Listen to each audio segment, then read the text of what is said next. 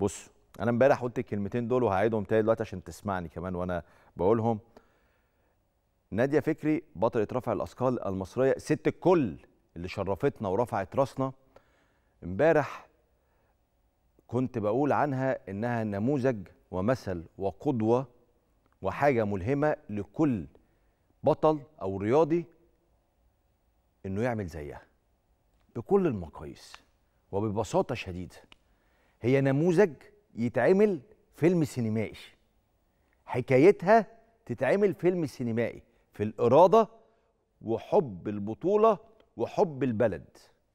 أنا معايا عبر الهاتف الآن البطلة المصرية الكبيرة اللي شرفتنا ورفعت راسنا للسماء كابتن نادية فكري بطلة رفع الأثقال المتوجه بالبرونزية في أولمبياد باريس. يا فندم مشرفة ومنورة وسعيد جدا بتواجدك معايا وألف مليون مبروك. ألو؟ يا فندم منوراني ومشرفاني وألف مليون مبروك.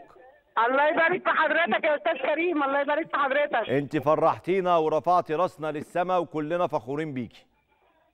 الله يخليك والله الله يخليك. أنا سعيدة جدا بكلام حضرتك. لا ده أقل من حقك بكتير. أنا بقالي ثلاث أيام بتكلم عنك تقريبا بس فرحتينا وإرادتك ديت وحماسك ده حاجة ملهمة لينا كلنا والله.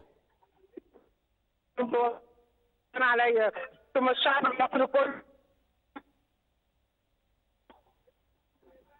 كابتن ناديه الصوت بس مش واضح لو نقف في مكان الصوت يبقى واضح فيه عشان اسمعك. أنا يا فندم والله في الباص.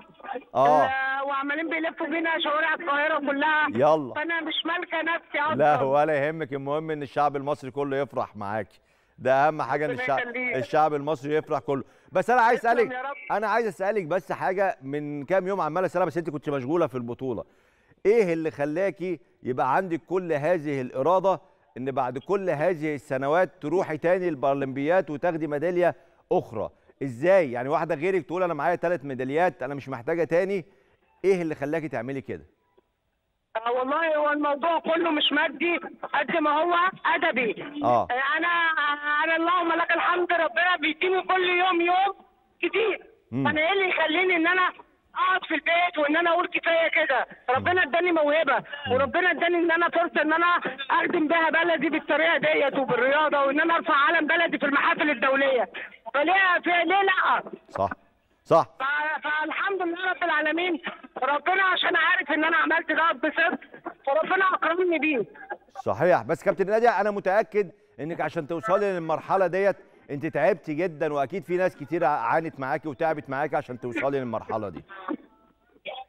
أكيد طبعا أكيد طبعا. أنا أسرتي و- وعلى راسهم آه، والدتي الله يرحمها وزوجي وأولادي وإخواتي آه، كلهم بصراحة واقفين في ظهري ومدعميني.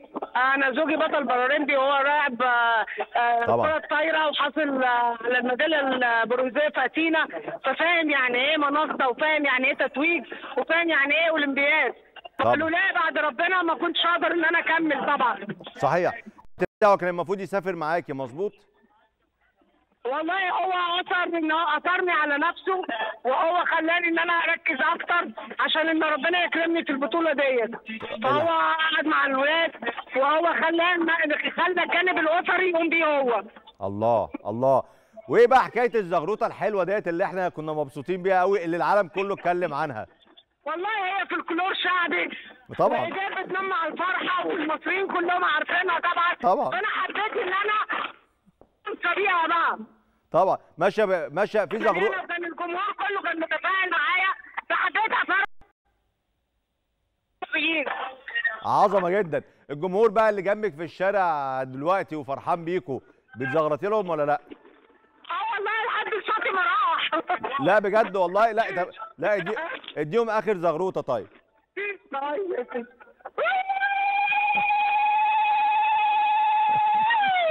ربنا يديك الصحة ودايما بطلة ودايما رافعة راسنا. كابتن نادية فكري بطلة مصر في رفع الأثقال المتوجة ببرونزية رفع الأثقال في أولمبياد باريس. جميلة جمال. ست الكل والله. فكرة عظيمة. في 2000 بتاخد ميدالية. في 2004 بتاخد ميدالية. في 2008 بتاخد ميدالية. 2012 تغيب 2016 تغيب 2020 تغيب. تيجي في 2024 وتاخد ميدالية بعد كام بقى؟ بعد 20 سنة. وبعدين تقعد تقول إزاي؟ إزاي أصلا حد ممكن بعد ما عمل إنجاز من هو عنده في العشرينات من عمره يرجع تاني وهو في أوائل الخمسينات ويقول لك لا أنا عايز آخد ميدالية كمان. فيلم.